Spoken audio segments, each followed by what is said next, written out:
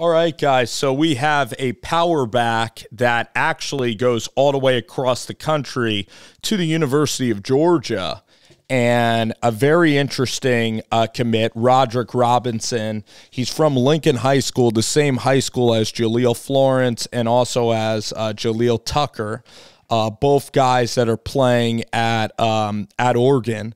And you really look at Roderick, and Roderick at six one, he plays exactly like Washington Redskins running back Brian Robinson. He is a power back, which means he's going to go downhill and he's going to punish you.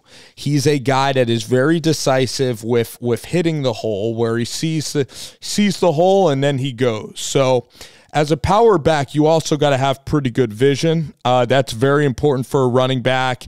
And put it this way with Georgia, with Matt Luke, and with running downhill, what they want to do in the trenches, I really see, you know, this running back having success. And then also what I like about what Roderick does too is Roderick can get outside and can also extend the play. So even though he's a power back, he still has ability to bounce it outside and he still has ability to um to, to, to also hit those explosive runs. Because you know if you're a power back and you get five yards that's fine. But if you could stretch the five in the 15 yard gains that could be very very valuable. So there you see some speed and, you know, even Tank Bigsby out of high school, I didn't think he was the fastest of fast running backs. And sometimes those really small running backs that are very quick, sometimes with their vision and things of that nature, they sometimes don't always pan out.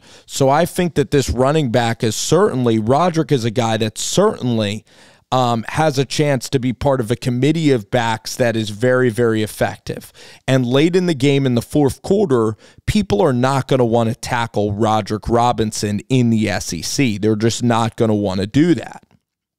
So, again, you know, like there, he he's a lefty, I guess. He's a lefty back but I really like what I see. And then sometimes, you know, I, I might be critical and say, oh, I want a faster running back.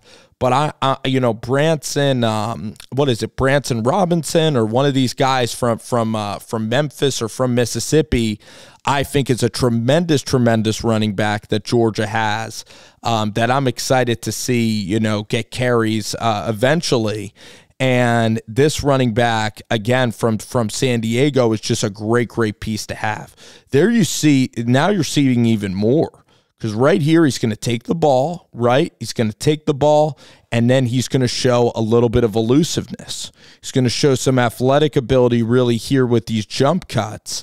And that's what you want to see. That That's what makes a sensational back. So I think that Robinson is a complementary running back in the SEC. I think he's certainly going to be a power back and he's going to be in the stable of running backs for the University of Georgia. You know, he's going to be a guy that can go downhill a little bit. And there you see him go north and south, and that's exactly what you want to see. And he's not going to be a guy that's going to be fun to bring down late in the game. So you can read, you know, really good. Here he does play some outside zone, but I even think he's a very good gap scheme runner right in between the tackles. Um, so I really love the kind of brand that the Georgia Bulldogs bring in, the physicality of the Georgia backs and Brian and and and you look at Roderick, I mean going to Georgia, it's a no-brainer. You look at the backs that are in the league now, you know, Todd Gurley uh, was in the league for a long time. Of course, you have Chubb, uh, Sony Michel that are running backs in the in the league. Dalvin Cook's brother on Buffalo. So, and um, really good running back coach there at the University of Georgia as well. So, along with Matt Luke, who's a great offensive line coach. And man, just you see the toughness. So that's what you're getting. You might not be getting the fastest running back, might not be getting the, the home run of home run hitters, but this guy is a rotational back that you're going to put in your stable of running backs that's going to be effective for you.